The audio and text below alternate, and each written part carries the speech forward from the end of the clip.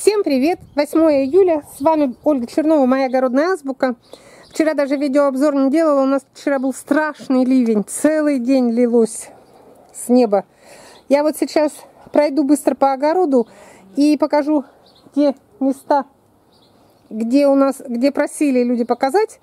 Но сейчас хочу сказать, что вот я 6 июля, 6 или 7, по-моему, собирала все вот эти крупноплодные томаты, но из-за тепла они очень-очень быстро спеют. Это вот те, которые после консервации. Просил один зритель, сказал, почему вы только два ряда показываете, пройдите по всему огороду. Я сейчас ради интереса пройду по одному ряду, но я ему объяснила, что что там ходить, те, которые высажены в стандартные сроки, вот как основная масса, они же все еще зеленые. Я вот показываю, вот такие они зеленые. И если я сейчас пройду по ряду, но я ради интереса, конечно, пройду, мы ничего тут не увидим. У меня тут только изумрудно-зеленое вот такое вот поле. Ой, тут я еще внизу даже нижние листья не убирала. Я убрала только по одному проходу. И куда бы мы ни пошли, везде будет пейзаж-то один и тот же. Цветы, зеленые листья, цветы, зеленые листья. Так, вот уперлись. Тут вишня. Значит, нам нужно сейчас разворачиваться и идти назад в другом направлении. Но мы будем видеть то же самое. Цветы, зелен... цветы зеленые листья, цветы зеленые листья. Я думаю, по рядам ходить нам еще рано. Я сказала, что когда будут спелые томаты, когда будет что показать, я буду вас тогда ходить по рядам и показывать. А так, ну, конечно, мы можем наклониться, здесь мы можем присесть. Но тут же зеленые лягушатки у меня. Ничего больше здесь нет. Одна зрительница просила показать в теплице Франкенштейн, там, где были лысые томаты обрезанные, где Катя случайно обрезала. Я же сказала, что ой, томаты до лысого обрезали, я потом покажу. Такое горе, я расстраивалась. Но пока я собиралась показать, они, конечно, все обросли уже. Ой, ой, ой. И вот те самые лысые томаты, а они уже не стали лысые, у них наросло зелени. И тут тоже высадка у меня же была в последнюю очередь. Тут показывать еще нечего. Ну, кроме разве что Надюшки. Тут только-только-только начинают созревать первые томаты. Когда будет массовое поспевание, созревание, я вам расскажу их, покажу. И еще хотела показать, начать видеосерию черный список томатов-гигантов, которые не нужно в теплицу высаживать. У меня вот есть несколько экземпляров, которые я точно сказала, никогда больше в теплицу не посажу. И в первую очередь вот этот экземпляр надо посмотреть, как он называется, я еще не смотрела. Ну, такой куст-великан. Сами не крупноплодные, главное. А он такой здоровый. Он у меня два раза падал вместе с колышком. Я его уже к потолку привязала, чтобы он там держался его больше в теплице никогда не будет. Ну, как, впрочем, и вот полосатый шоколад, он же тоже очень мощный, он роняет у меня вот эти коли. Я его в теплицу высаживаю два куста только для того, чтобы была сохранность сорта. Ну, чтобы даже если град, если на улице все побьет, его сохранить, чтобы вообще у него... У меня здесь, смотрите, сейчас покажу. Ой, смотрите, какие огромные здесь на нем эти шоколадные полосатые плоды. Сам он огромный, он заваливается. В прошлом году на улице рос у меня прекрасно. Боюсь только из-за погодных условий все кусты на улицу высаживать. В этой теплице тоже вот какие-то диковинки скоро созреют. Не знаю даже, как это название, еще не смотрела. Буду обзор делать только когда поспеют. Вот в этих посадках, где я вас водила по рядам, тут я даже нижние листья еще не удаляла. Тут вообще не тронуто. Тут ничего, ничего, ничего не делала. У меня основная масса-то огорода посеяна и высажена в стандартные для Сибири срок, сроки. То есть они еще только наливаются. Их даже смотреть смысла нет. Ну, что этот, что этот. Да, есть некоторые уже большенькие, но все равно они зеленые.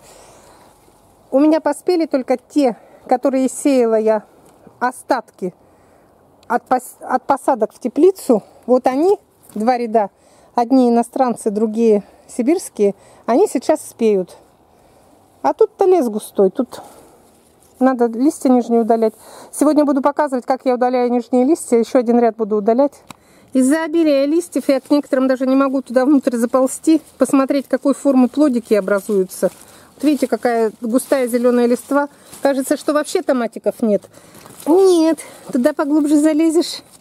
Вот они они. Я сама их еще не все видела в лицо.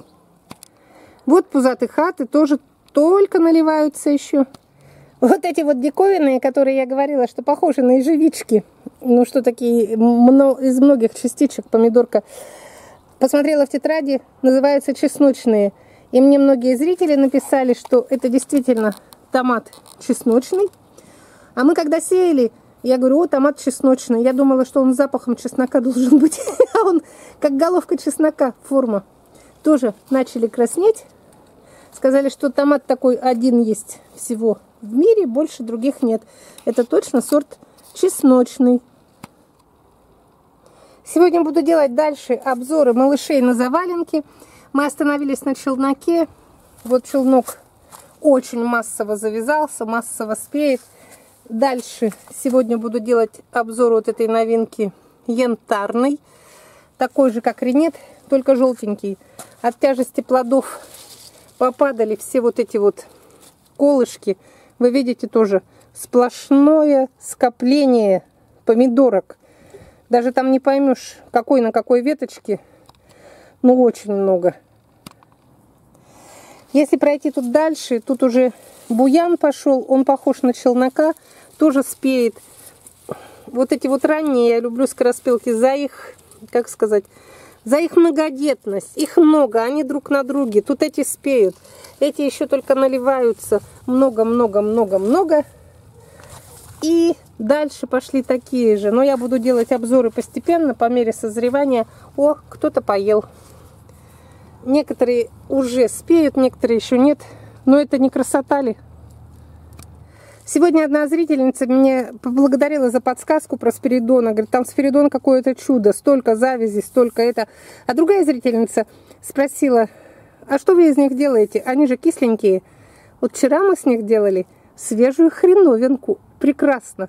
Для хреновины неважно, кислый он или сладкий. Вы представьте, чесночок хрен. Правда, хрен мы использовали вчера, поленились, покупной, вот в тюбиках выдавливается, который тереть неохота.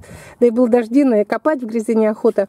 Хрен, чесночок, свежие скороспелки. М -м, к пельмешкам, к пюре, к лапше. Я и говорю, что если вы считаете, что скороспелки вот такие не нужны, вы просто не умеете их готовить. Они вот незаменимы, палочка-выручалочка. На хреновину не будешь же батяню первые плоды крутить. Вот так вот на сегодняшний день выглядят у меня занавески, притеняющие из томатиков черри.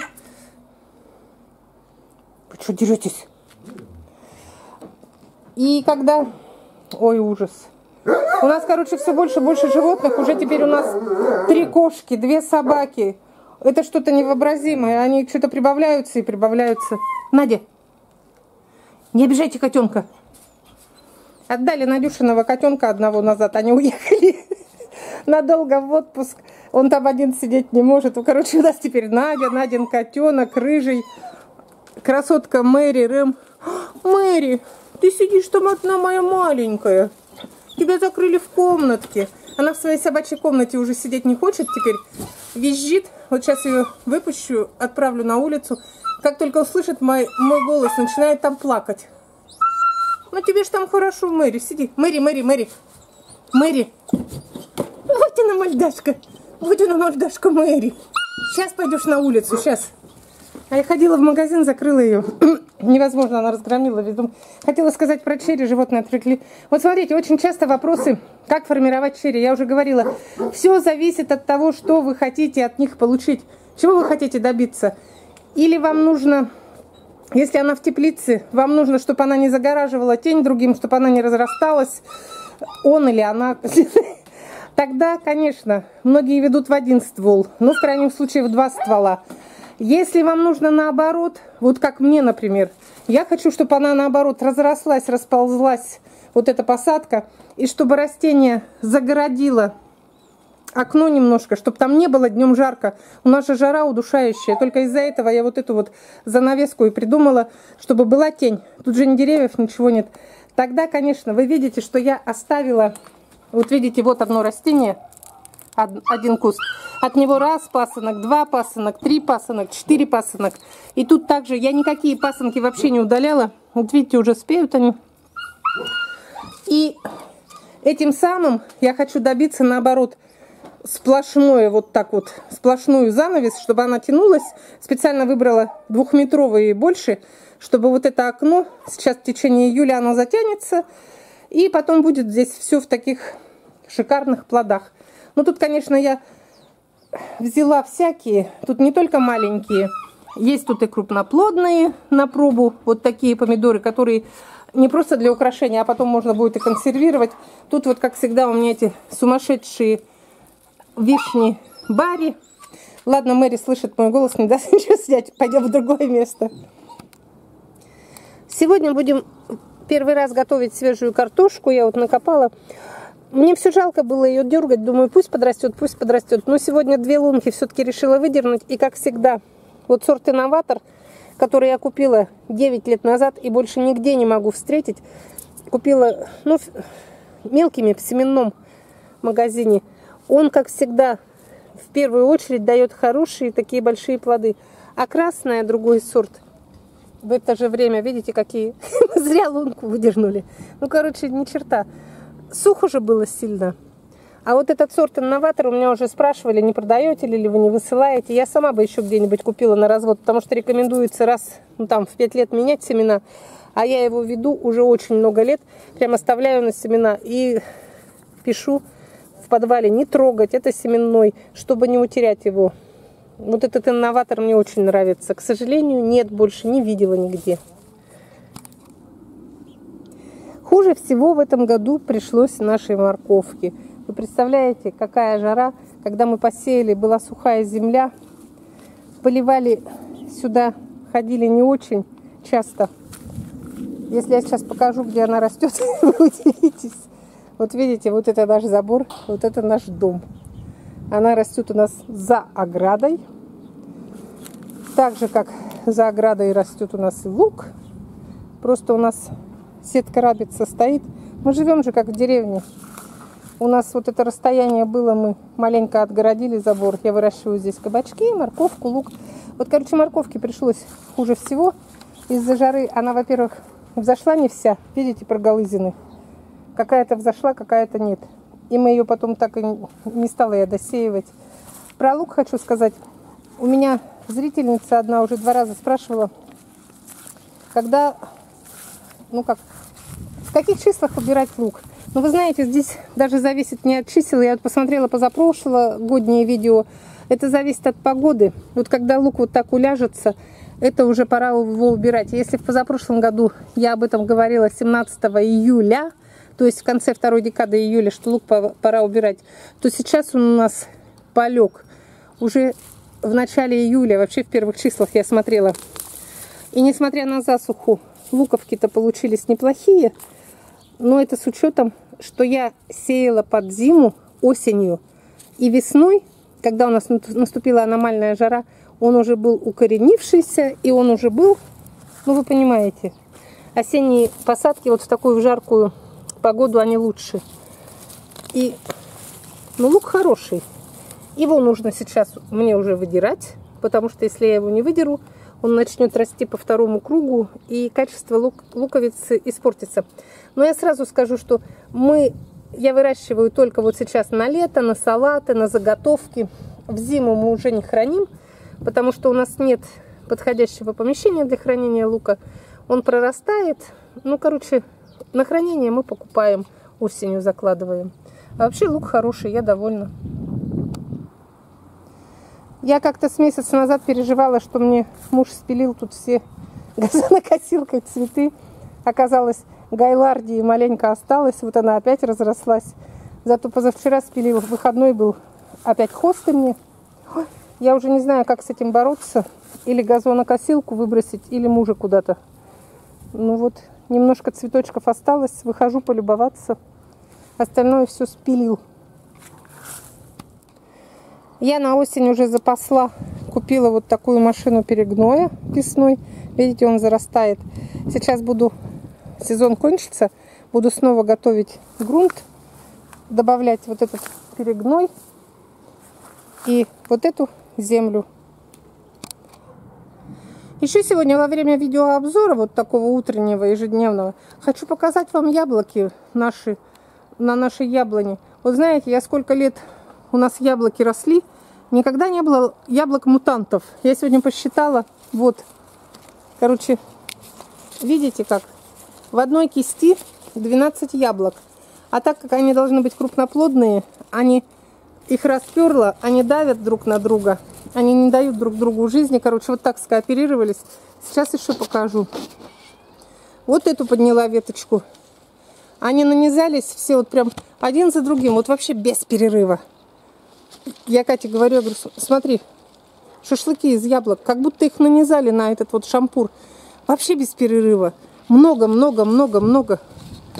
И я никогда не видела, у нас же эта яблоня, она много лет, и у них обычно между яблочками, это вот подарок садовода, между яблочками было всегда расстояние.